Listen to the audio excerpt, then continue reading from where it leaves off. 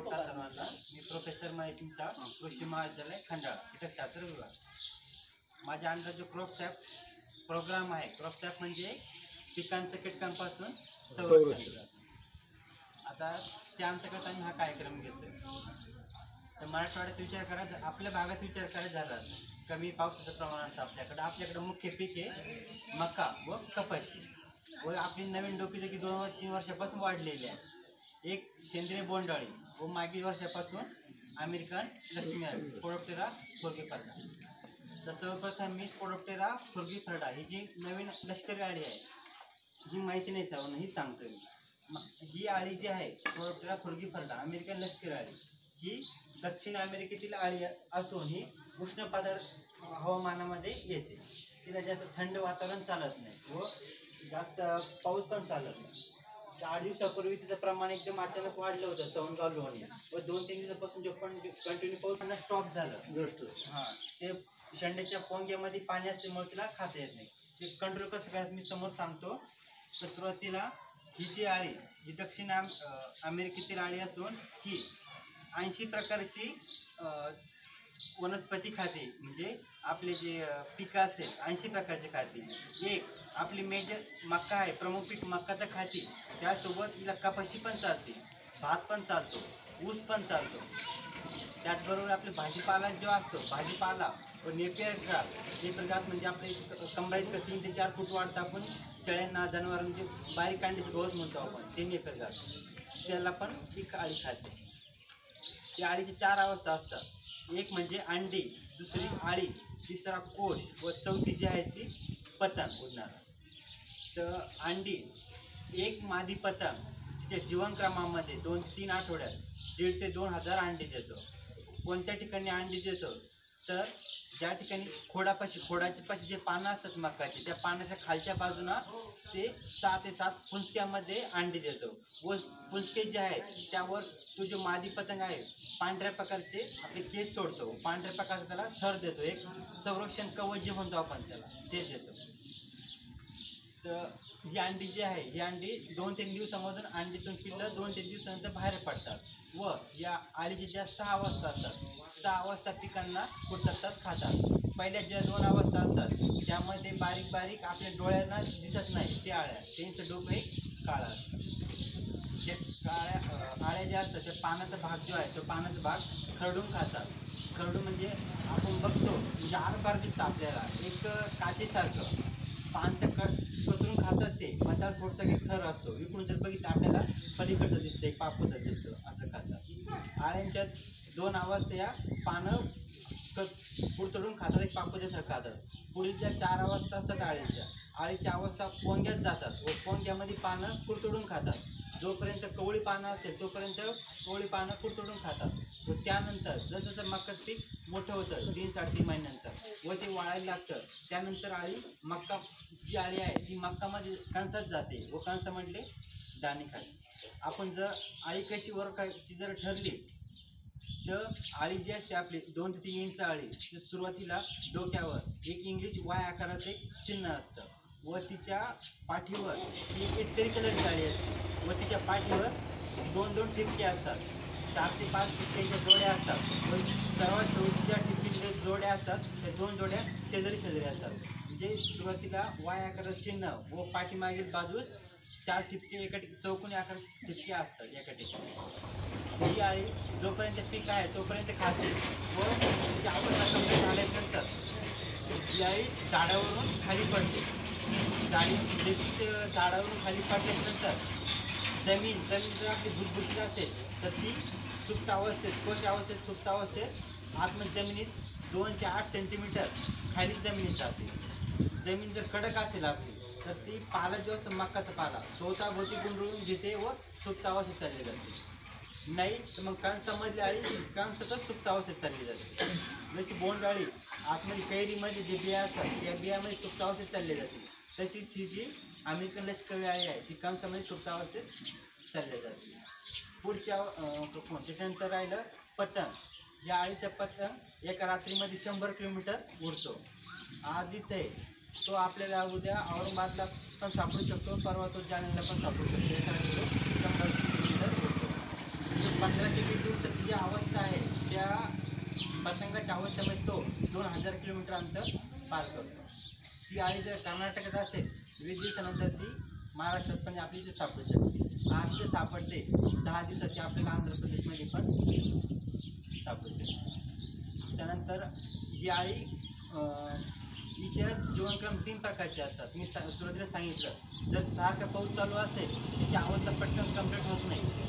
तर पावसाळ्यामध्ये जास्त पावसाचं प्रमाण जर असेल व ह्युमिडिटी म्हणजे आर्द्रता असेल हवामानामध्ये म्हणजे आर्द्रता असेल ओलावा असेल तर आळीचं पावसाळ्याचं जीवनमान हे तीस ते चाळीस दिवसाचं असतं. हिवाळ्यामध्ये थंडी असते. थंडीमुळं हिचं आयुष्यमान जे आहे ते पंचावन्न ते साठ दिवसाचं असतं. किंवा मग हे हिवाळ्यामधलं ऐंशी ते निव नव्वद दिवसापर्यंत पण जाऊ शकतं. उन्हाळ्यामध्ये उष्णता असल्यामुळे हे आयुष्यमान आहे. इथं पटकन कंप्लीट होतं. मग तीस ते पस्तीस दिवसामध्ये इथं आयुष्यमान ही कंप्लीट करते. तर ही आळी जर आपल्याला कंट्रोल करायची असेल एकात्मिक कीड रोग नियंत्रण जे होऊन आपलं केमिकलपेक्षा आपल्या पद ग्रामीण भागातील आपल्या जे साध्या पद्धती असेल त्या साध्या बळ्या पद्धतीचा वापर करून आळ्यांचं प्रमाण कमी करायचं असेल तर त्यामध्ये सुरुवातीला खोल नांगरट येते. आता नांगरट झालेली तो भाग घेण्याची गरज नव्हती. पण तरी पण पुढच्या वर्षी जे करणार आहे. त्यासाठी सांगतो. तर खोल नांगरट केल्याचे फायदे काय? तर वीस ते बावीस सेंटीमीटरपर्यंत आपण दोन दोन तीन वर्षातून एकदा तरी नांगट केली पाहिजे. आपण काय करतो पाऊस नाही पडला म्हणून रोट्या हाणतो. व वरच्यावर आपण काम झपून घेतो. पण शक्य दोन तीन वर्षामध्ये एकदा तरी खोल नांगट झाली पाहिजे. खोल नांगरटीमुळं पक्षी जे असतात आपल्या शेतामधले ते आळ्या वेचून खा- जे कोशवर येते ते वेचून खातात आळ्या कोश वगैरे. व जे कोश पाखरांना दिसणार नाही ते उन्हामुळं उन्हामुळं जमीन तापल्यामुळं ते आपोआप नष्ट होतात. पुढचं जे आहे सर्व गावांनी पाऊस पडल्यानंतर एका टायमाला पेरणी कर करायची. आपल्याकडे कसं आहे पाऊस जर पडला तर ज्यांच्याकडे लेबर आहे ते शेतकरी पटकन पेरणी वगैरे करतात. ज्यांच्याकडे लेबर नाही कधी कधी आठ ते दहा दिवसाचा गॅप पडतो. हा गॅप पडता कामा नये. चार ते पाऊस पडल्यानंतर सात ते दहा दिवसामध्ये सगळ्या गावांनी पेरणी केलेली कधी पण चांगली. त्यानंतर जे आहे आंतरपीक घेणं. चार दोन. चार साऱ्या मक्काच्या व दोन साऱ्या तुरीच्या. का बरं की हे आवडतीचं खाद्य आहे. ही जी आळी आहे हिचं मक्का हे आवडतीचं खाद्य पण आहे व तिला अंडी देण्यासाठी पण मक्का पिकच आवडतं. जर आपण तुरीचं पीक जर घेतलं तर अंडी देण्यामध्ये आळीला अडथळे निर्माण होऊन या आळीचं प्रमाण कमी होत चालतं. त्यानंतर आपण मूग उडीद पण घेऊ शकतो आपण आंतरपीक म्हणून. तूर मूग उडीद यामुळे काय होतं आपले जे मित्र कीटक आपण ढालकिडा म्हणतो आपले बारीक भुंगे दिसतात शेतामध्ये ते काळे जे आपले मावा असतो माव्याला खातात. असे मित्र कीटकांचं प्रमाण शेतामध्ये वाढवून ते पण आळ्या कंट्रोल करायचं प्रमाण कमी करतात. नंतर आहे सापळा पीक. जे सांगितलं मी नेपेर घास. तुम्ही जर मक्का जर घेतली तर मक्काच्या बोध तुम्ही एक लाईन एक किंवा दोन लाईन जर नेपेर ग्रासच्या किंवा आपण कांडी साध्या कांडीगाव जे म्हणतो कांडीगावचं जर लावल्या ही आळीचं मी सुरुवातीला सांगितलं. ही आळीची ऐंशी प्रकारचे पिकं खाते.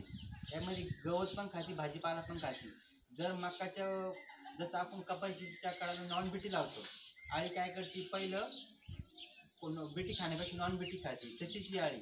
मक्काच्या भोवती जर नेटर गाव कांडी गवत जर लावलं ही मक्कावर येण्यापेक्षा पहिलं गवत खाण्याला जास्त महत्त्व देते. प्राधान्य देते. मग जर ही गवत खाण्यासाठी जर आळीकडे धावली आपण काय करायचं? निमार का? जो म्हणतो आपण. लिंबाच्या झाडाच्या लिंबाळ्या जमा करायच्या निमार तयार करायचा. व पाच एम एल पर लिटर पाच एम एल पर लिटर या प्रमाणामध्ये त्या गवतावर फवारायचं. गवतावर फवारल्यामुळे काय होतं? आळीचं प्रमाण जे आहे आळी मरते.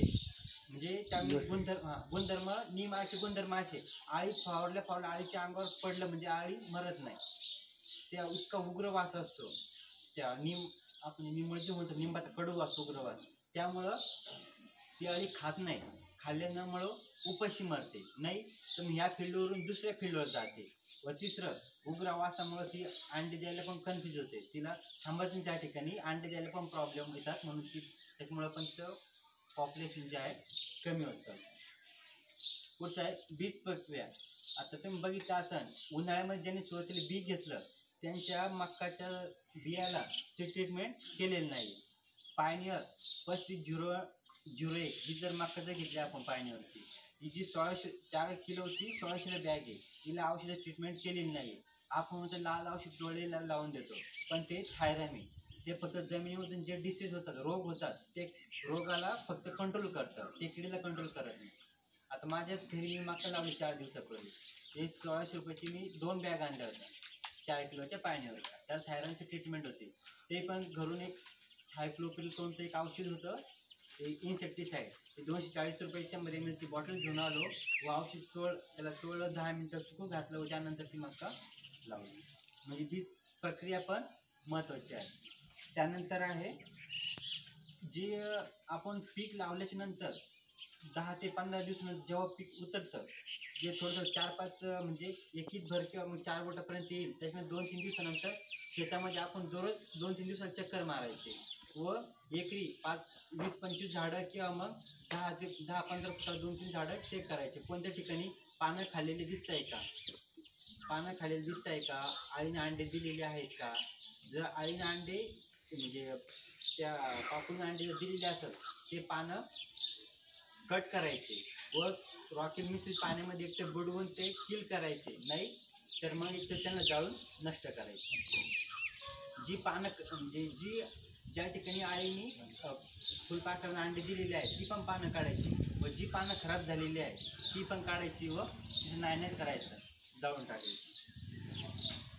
त्यानंतर कामगंध सापळे आपण जसं म्हणतो माझीकडं नर हा माझीकडं जास्त अट्रॅक्ट होतो. माझीकडे जास्त ओढ घेतो तसंच या पतंग या पतंगाची जी माजी आहे या मादीचा एक लूर भेटतो एक गंध भेटतो आपल्याला. वीस ते पंचवीस रुपयाला पुढे. औरंगाबादला किंवा तुला कृषी केंद्रावर वगैरे त्या ठिकाणी भेटतात आपण जसं कपाशी झाडामध्ये आपण थेरमोट्रॅप वापरतो. फेरमन ट्रॅप त्याचा आपण हा लूरचा आपण कामगंध सापडा म्हणून यूज करू शकतो. त्यामुळे काय होतं हे जे पत मा नर पतंग हे त्या वासामुळे अट्रॅक्ट होतात व त्याच्यामध्ये पकडले जातात. त्याच्यामध्ये बंद होतात. मग ते पकडलेले आपण ते केरोसिन पाण्यामध्ये टाकून नष्ट करू शकतो किंवा मग त्यांना जाळून वगैरे काहीतरी करून नष्ट करू शकतो. पुढचं आहे प्रकाश सापळे. ही जी अमेरिकन लष्करी आहे त्या अमेरिकन लष्कराळी ही रात्रीच खाते. ओळीचा पतंग रात्रीच उडतो त्यामुळे ही जी आपल्याला दिवसा दिसत पण नाही. दिवसा ही पतंग जो आहे मकाच्या शेंडा जो असतो त्या शेंड गाभ्यामध्ये तो पतंग जो आहे त्या गाभ्यामध्ये बसलेला असतो. रात्र झाल्याच्यानंतर तो उडायला लागतो. ही जी आळी जी आहे ही पण रात्रीच खाते दिवसा खात नाही. हिची जी विष्ठा असते हिची विष्ठा लाकडी भुशासारखी थ्री कलरची असते. प्रकाश सापळे एकरी दोन किंवा तीन बल्ब. पिकापासून तीन चार फूट किंवा मग दहा बारा फूट एखाद्या झाडाला वगैरे किंवा एखादा पोल वगैरे उभा करून त्या ठिकाणी तीन ते चार बल्ब एकरी लावायचे. व खाली एक तर भांडं पाण्याने भरून ठेवायचं. त्या पाण्यामध्ये एक केरोसिन टाकायचं किंवा भांडं जर एक नसेल तर एखादा प्लास्टिक वगैरे आखरायचं त्यामध्ये पाणी व त्यामध्ये केरोसिन वगैरे टाकायचं. ही जी पाकोळी जी आहे ही लवटाभोवती रात्री ही आळी संध्याकाळी सहा किंवा सातच्या नंतर निघते व सकाळी सहा ते सातपर्यंत ही तिचं भ्रमण भ्रमंती चालू असते करत असते. ही लाईटाभोवती फिरून फिरून मग चक्कर येऊन ती खाली पाण्यात पडते व मरते. या लाइट ट्रॅपचा आपण तिला कंट्रोल करण्यासाठी उपयोग आणू शकतो. एक जर पथक तुमच्याकडून जर नष्ट होत असेल तर त्याच्यापासून होणाऱ्या दीड ते दोन हजार आळ्या तुम्ही कंट्रोल करू शकता. त्यांचा नायनाट करू शकता. पुढचं आहे पक्षी थांबे. पीक उतरल्याच्या नंतर पंधरा ते वीस दिवसामध्ये एकरी एकरी दहा किंवा मग एकरी पंधरा तुम्ही पक्षी थांबे. आपण जे म्हणतो हरणं येऊन येवणे नये म्हणून एक साधी माणसं उभे करतो. तसेच एक पक्षी थांबे उभे करायचे. त्यावर पक्षी बसून आळ्या जर दुसऱ्या जाळ्या वेचून खातील यासाठी पक्षी थांबे एकरी दहा पक्षी थांबे उभारायचे त्यानंतर ट्रायकोग्रामा. मी सुरुवातीला आलं बरोबर कोणाला सांगितलं ट्रायकोग्रामा. म्हणजे शासन हे पण चालू आहे का? शेतकरी विकत घेऊ शकत नाही. दहा बाय पंधरा सेंटीमीटर ट्रायको कार्ड विकत घेण्यासाठी चारशे रुपये लागतात. तर शासनाला आपण तसं आमची पण डिमांड चालू आहे. शासनाने ते शेतकऱ्यांना प्रोव्हाइड करावं. तर एक ट्रायको दहा बाय पंधरा सेंटीमीटर ट्रायको कार्ड जर घेतलं त्याची पण डोस असतात.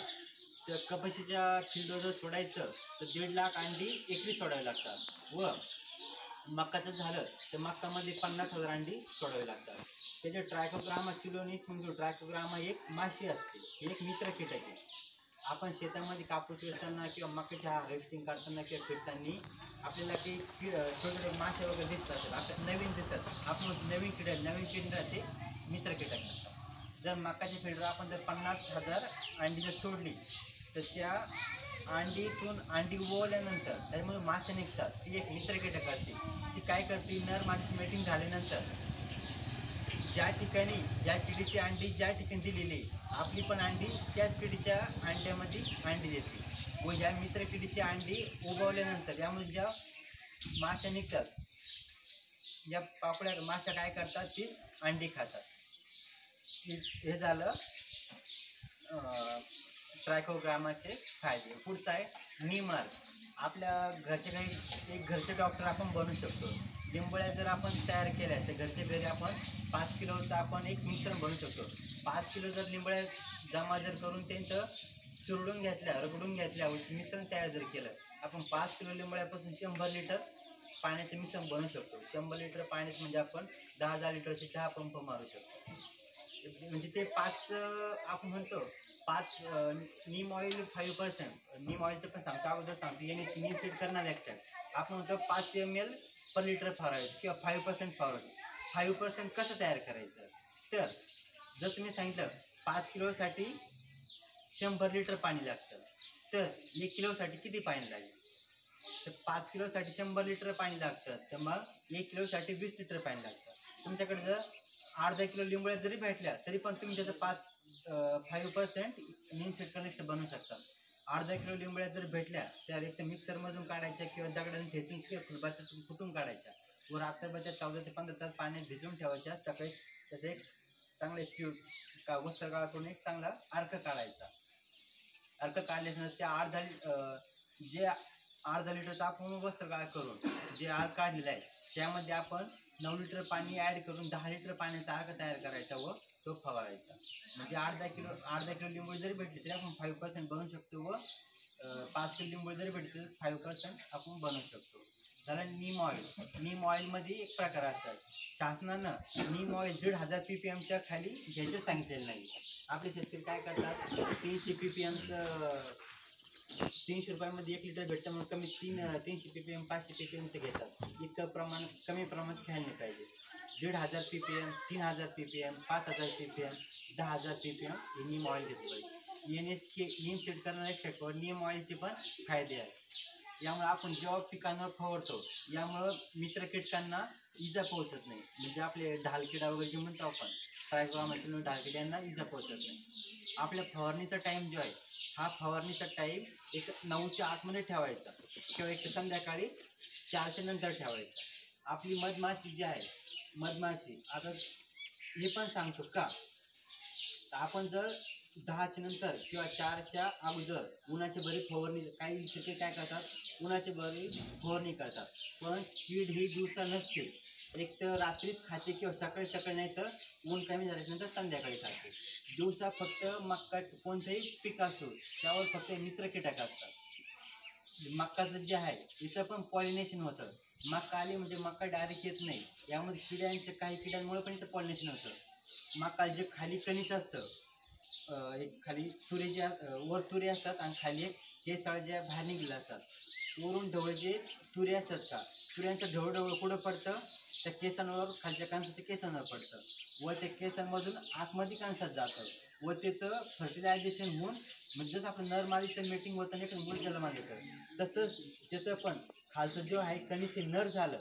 वरचं फ्लावर फुलं जे झाली ती मादी झाली व त्यांचं मेटिंग होऊन आतमध्ये फलित दाणे तयार होतात. त्याच्यासाठी आपण फवारणीचा टाईम हा नऊच्या अगोदर किंवा चार चारच्या नंतर ठेवायचा. एक मधमाशी दिवसातून वीस हजार फुलांमधून मकरंद जमा करते. दिवसातून वीस चक्कर मारते. पोळ्यापासून फिल्टर वीस चक्कर मारते. एका चक्करला ती शंभर फुलांमधून रस शोषण करते. म्हणजे मकरंद जो काढते व आपल्या पोळीमध्ये आणून ठेवते. व ती एका टायमाला शंभर फुलांमधलं मकरंद शोषून मकरण मकरंद काढून आणते. म्हणजे ती एका टायमाला शंभर फुलांचं फलित करते ते फर्टिलायझेशन करते. ते एका दिवसाला एक मधमाशी दोन हजार फुलांमधून मध काढून आणते व दोन हजार फुलांचं फळधारणा क करण्यास मदत करते. म्हणून फवारणीचा टाईम हा नऊच्या अगोदर पाहिजे व इथे चारच्या नंतर पाहिजे. आतापर्यंत आपण बघितलं असं किडी दिवस आपण शेतामध्ये कापूस वेचताना वगैरे एखादी बोंडळी खाताना किंवा मग मकाचं काही पालावर खात एखादी आले कधी बघितले नाही.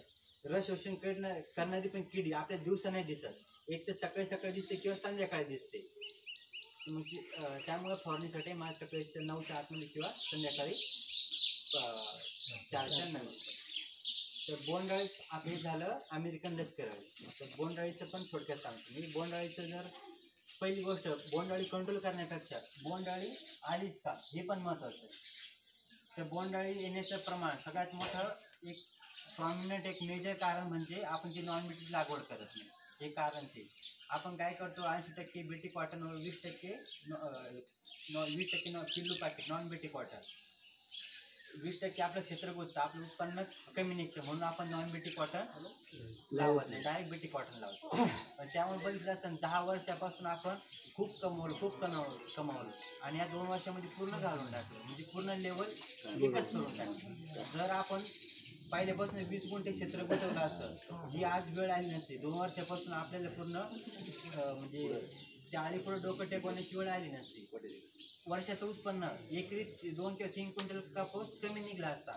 पण या दोन वर्षामध्ये जे एक एका शेतकऱ्याचं कमीत कमी वीस ते पंचवीस क्विंटल पर शेतकऱ्याचं उत्पन्न कमी झालं आहे मला स्वतः सांगतो माझं साठ क्विंटल कापूस झालं मला त्या साली फक्त वीस क्विंटल कापूस झालेला आहे. कारण काय दाखवलं त्यासाठी दोन वर्षापूर्वी आठ दिवस पाऊस खूप झडगं लागलं होतं. आपल्या माहितीच ना दोन वर्षापूर्वी पाऊस आठ दिवस सारखं झडगं लागलं कंटिन्यू पाऊस चालला होता. कपाशी खूप वाढल्या होत्या आणि खाली ज्या एक फुटाची जी पहिले जे सुरुवातीचे पाते काही तयार होतात ते पूर्णपणे सडलेलं होतं. एक कारण पाऊस पाऊस एक कारण झालं खालच्या प्रत्येक दहा ते पंधरा कैऱ्या सडल्या. व जे कैऱ्या राहिल्या होत्या त्याच काळामध्ये पिंक बोलवांचा पण अटॅक झाला. वर्ष पावसामुळे पंधरा पंधरा कैऱ्या व या बाकी राहिल्या बोंडाळीमुळे आपलं जे उत्पादन एकरी दहा ते बारा क्विंटल निघायचं. तीन ते चार क्विंटलवर आपलं एकरी उत्पादन त्यानं कमी आणि या नॉन पिंक बॉलमचं खाद्यच ते कपाशीच खाद्य. जर आपण नॉन बीटी लावली ती नॉन बीटीवर राहते. का बरं की बीटी कपाशी जी आहे हिला फक्त ही आळ्यांना आळ्यांना प्रतिकार करते. व नॉन बीटी कॉटन जी आहे ही नॉन बीटी कॉटन नाही आहे आपल्या जनावरांना जरी खाल्ली तरी पण आपल्या जनावरात फुगत नाही. किड्यांनी जरी ते पानं खाल्ले किंवा रस शोषण केलं तरी पण त्यांना काय होत नाही. त्यासाठी नॉन बीटी कॉटन दिलेलं आहे. आपण काय करतो? नाही बैल क- बांधानी चढताना झाडं खा शेंडा खाते झाडं खाते बैल फुगते म्हणून आपण नॉन बीटी कॉटन लावू शकतो तर मग आपण नॉन बीटी कॉटन न लावल्यामुळे आळीचं प्रमाण वाढलेलं आहे. त्यानंतर एक दुसरं जे आहे आपण कपाशीची फरदड घेतो. डिसेंबर जास्तीत जास्त एक कप पीक जे आहे सहा महिन्याचं आहे. एकदा का फरदड म्हणजे डिसेंबरपर्यंत झालं. पहिल्या बाळ संपल्यानंतर आपण ही कपाशी पीक उपटून हिचं काय असेल तिचं विल्हेवाट लावली पाहिजे. आपण एक बाजार आठ होईल भाव वाढतोय घरात कापूस साठवून ठेवतो तो पण उन्हाळ्यामुळं आतमध्ये तळतो. घरामध्ये उष्णतेमुळे तो तळतो. शेतामध्ये पण बाजार आठवून कापूस ठेवतो. आता हे कळत नाही.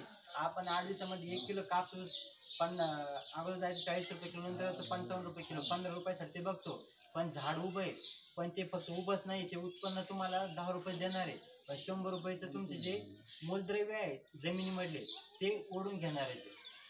का बरं की जी तसं बघायला जर घेत पिकाला सुरुवातीला पावसामुळे जितकं खत मूलद्रव्य लागतं याच्यापेक्षा आपण फर्दर घडतो.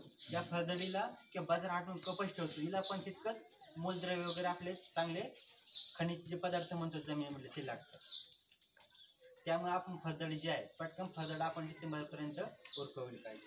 पुढचं आहे बोंडअळी म्हणजे आपण कंटिन्यू जसं सांगितलं मी मक्काला. मका लावल्यानंतर दहा ते पंधरा दिवसानंतर आपण दोन ते दिवस शेतात जाऊन निरीक्षण केलं पाहिजे. तसंच कपाशीमध्ये पण. जर कपाशी उगत उतरल्यानंतर एक पंधरा वीस दिवसानंतर एक महिन्यानंतर कपाशीमध्ये जाऊन निरीक्षण केलं पाहिजे. त्या ठिकाणी बोंडअळी वगैरे दिसते का?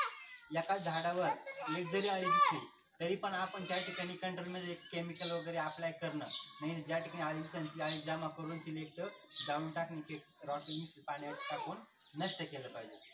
कोणतंही पीक असो जर फुलावऱ्यामध्ये आपण फुल येण्याच्या अगोदर त्या पिकाला जर अळी कंट्रोल केली तरच ती कंट्रोल होते. ही अळीचं पण त्याचे पाते आपण जी आळी अशी पाते जास्त का पातेमध्ये जाते. आतमध्येच वाढते. कैरीमध्ये आतमध्ये चालली जाते. ज्या टायमाला कापूस फुटतो त्या टायमाला कापूस येत नाही. पूर्णपणे त्या आळीची विस्ता असते. ही आळी आपल्याला दिसतच नाही. ही पात्याला एक छोटंसं एक सुईगन छोटं मोठं छिद्र पाडती आतमध्ये जाते. उची आतमध्येच वाढ होते. ती आपल्या डोळ्यांना दिसतच नाही. ही पण रात्रीच फिरते दिवसाने फिरते ही पण रात्रीच फिट करते. व ही बाहेरून पानं वगैरे खात नाही. ही कैरीला पण वरून खात नाही. ही आतमध्ये जाऊन आतमधला जो कापूस आहे कापसाच्या मध्ये जे बी असतं का त्या बियाला खाते. कापसाला पण खातो. पण बीज जर खा ती जर नष्ट करते मग त्याला काही व्हॅल्यूच राहत नाही. त्यानंतर पुढचं जे आहे चौथं. तर आपण पराठीचे गंज आपण डिसेंबरमध्ये कापूस झाल्यानंतर सर्वांना घेता आपण कपाशी उकवटली पाहिजे. व आपल्या तीन ते चार फास जळण्यासाठी जे असेल तेच आपण तीन ते चार फास ठेवले पाहिजे. ते पण डायरेक्ट कपाशी उपटायचे आणि डायरेक्ट ठेवायचे. नाही का बरं की मी अगोदरच सांगितलं ही जी कपाशी आहे आपली बीटी कपाशी आहे.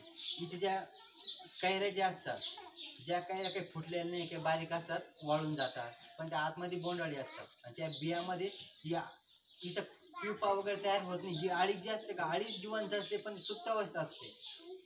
काही किड्यांचे पण प्रकार आहे. खूप जर थंडी आली त्या आळ्या ज्या स्थितीत आहेत त्या स्थितीत सुप्तावस्थेत जातात. काही किड्यांचं असं आहे उष्णता जर वाढली तर जी आळी जशी तशी सुप्तावस्थेत चालली जाते. व काही आळ्या अशा आहेत त्यांना जर खाद्य जर नाही भेटलं तर त्या जोपर्यंत खाद्य तयार होत नाही तोपर्यंत सुप्तावस्थेत चालले जातात. जसं आपलं उदाहरण कधी कधी आपलं जर गैरसमजा म्हणजे माझं मी नंतर सांगतो जर कधी कधी काय होतं बायकोसोबत जेव्हा भांडणं होतं कधी कधी बायकोकडे स्वयंपाक करत नाही. मग आपल्याला तसंच झोपी जावं लागतं. बारा तास झोपल्याशिवाय पर्याय नाही. सकाळी उठल्याच्या नंतर आपोआप काय असेल ते प्रोसिजर चहा नाश्ता वगैरे जेवण चालू होतं. पुढचं जे आहे पिकाची फेरपालट करणं. एकाच पिका जागेवर तेच तेच पीक कंटिन्यू घ्यायचं नाही. आपण काय करतो कपाशी जास्त भाव भेटला म्हणून यंदा पण कपाशी पुढच्या वर्षी कपाशी तिसऱ्या वर्षी कपाशी. यामुळे आळीचं जे जीवनक्रम जो आहे तो कंटिन्यू चालूच राहतो. हिचा जीवनक्रम खंडच होत नाही. हीच आळी. पहिले ही आळी फक्त कापूस पहिलं जे बोंड असतात जे पहिले एकरी जे आहे ऐंशी नव्वद बोंड झाले तर जे अर्धा बोंड मागून लागतात त्या मागून जे बोंड असतात या आधीच्या टायमावर उपद्रव करायची. पण शेतकऱ्यांनी काय केलं की चार पाच वर्षापासून कंटिन्यू एक तर सोपलीवर लावत